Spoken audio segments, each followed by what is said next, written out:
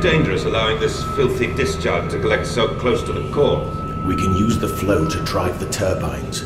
There will always be a torrent of excreta flooding through these tunnels. We can use this to supplement the steam production and ensure constancy. God, the stench! This fecal matter is the true product of the age.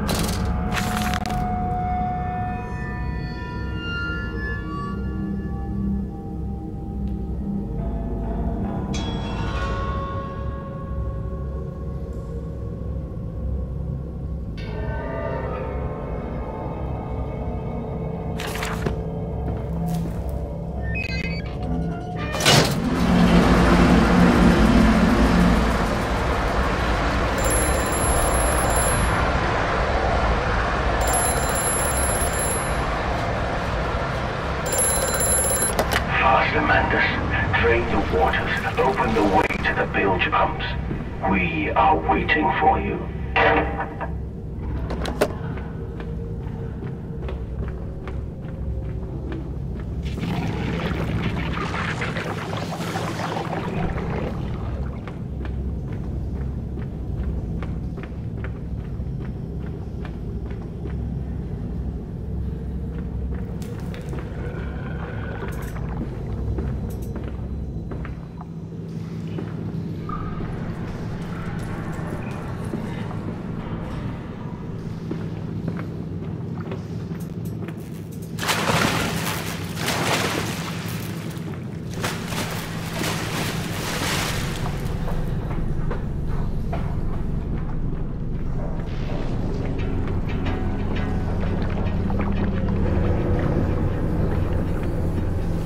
can save them.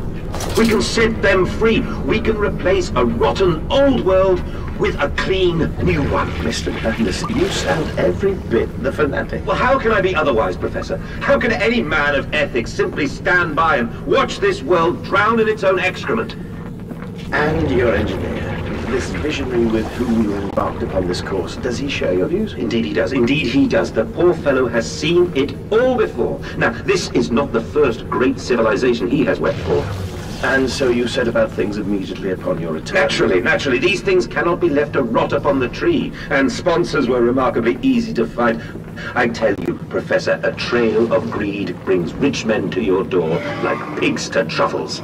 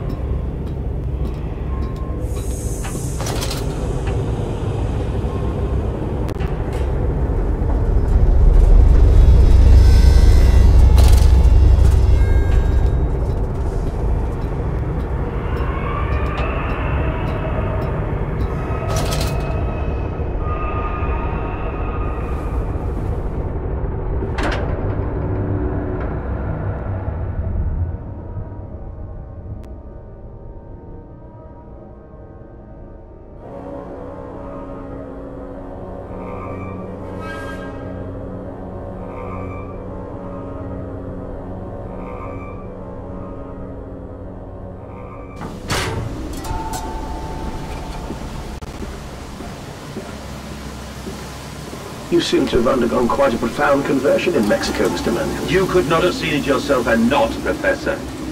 As we disembarked, even through my fever, I saw the detritus of this so-called progress. I saw starvation and disease, rot and destruction polluting the waters of the Empire. We are ruiners, you and I, and all of us, and we make the world unclean. And you took it upon yourself to act as Redeemer. Professor, I would not be so presumptuous. I am merely a conduit. I am constructing an architecture to wrestle our damnation to the ground and smother it with steam.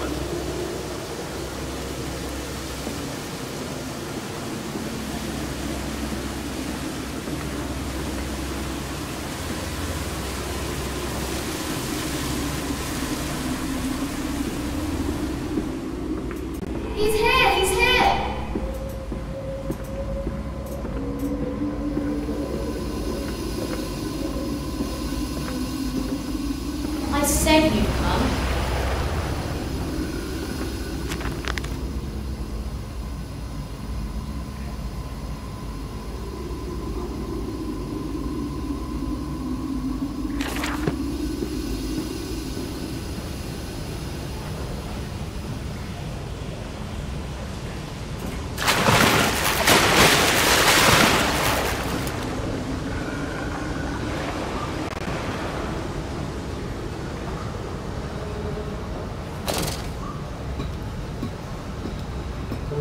Ahead, the trickle to still waters.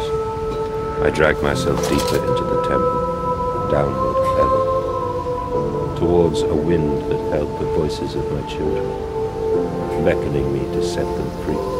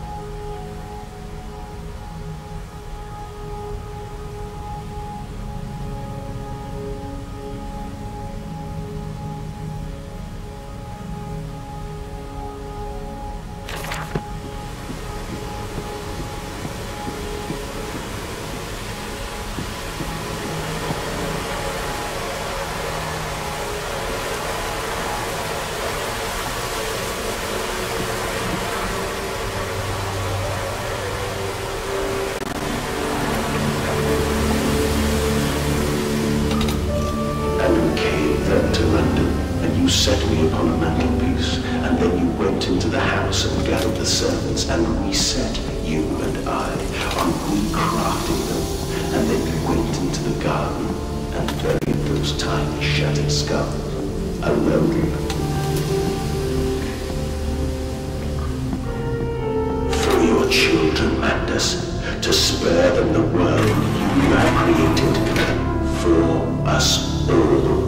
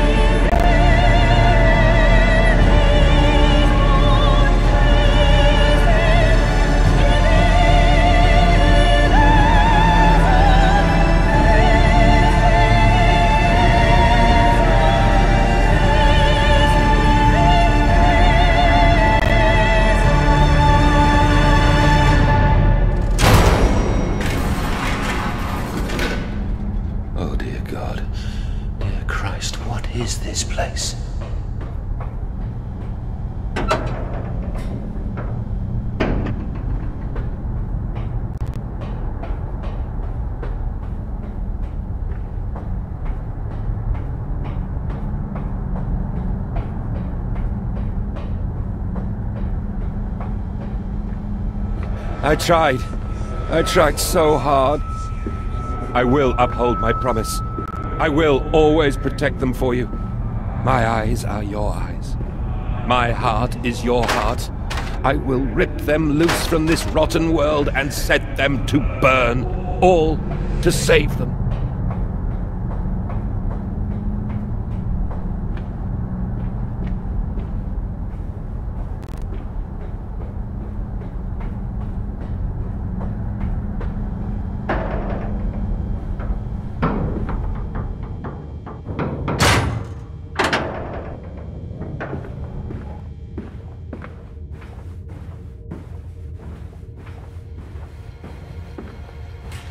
And they feel no pain. The process is completely humane. Humane, Professor? That we judge the acceptable level of suffering by the human condition? Ask the beggar, Professor. Ask the orphan. Ask the whore. Ask the starving, Professor. The weak, the sick, the filthy. Ask them to define your humane.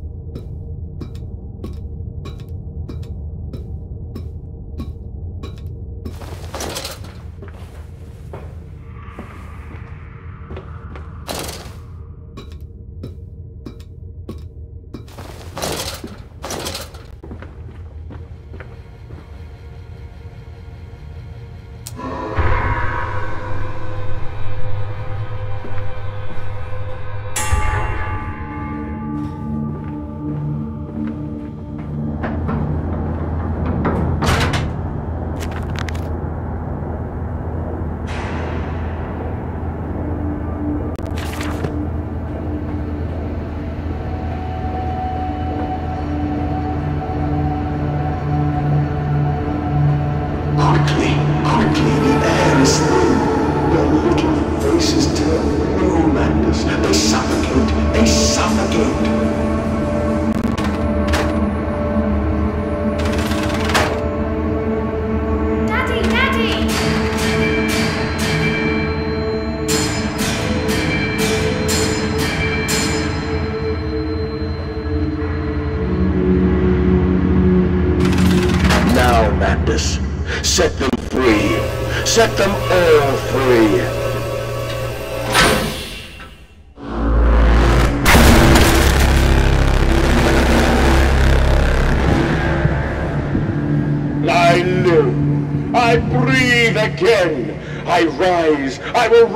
To bleach the sky and still the water. I will spin the world wheel and set the future upon the path to redemption. Where are my children? You promised me my children! My time is come. More pig. More pig.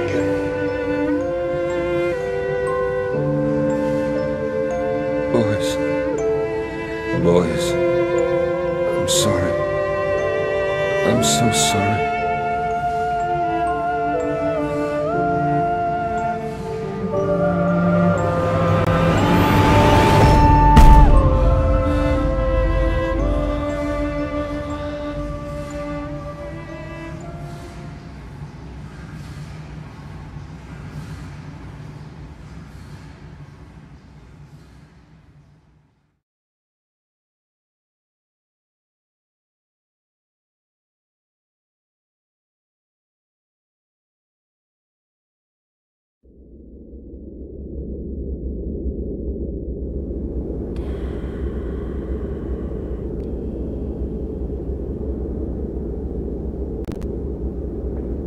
And, emerging, I raised my head to an uncaring sun, and I cursed this world of pain and despair.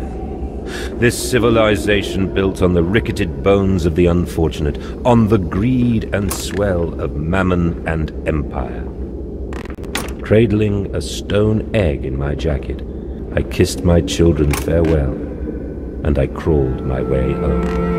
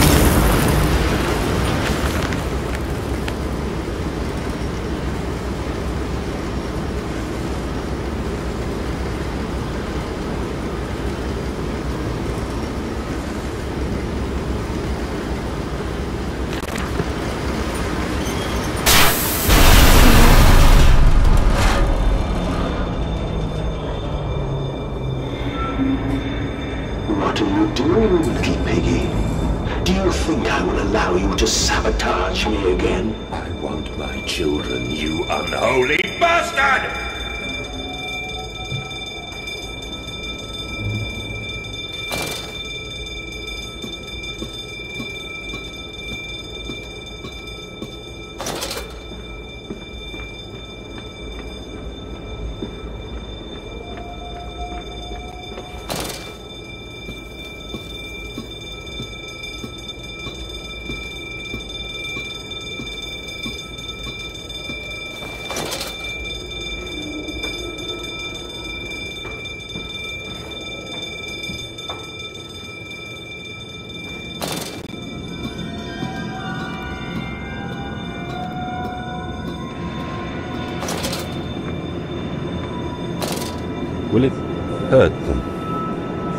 Cleansing fire always burns, little Mandus, but it purifies and it makes anew.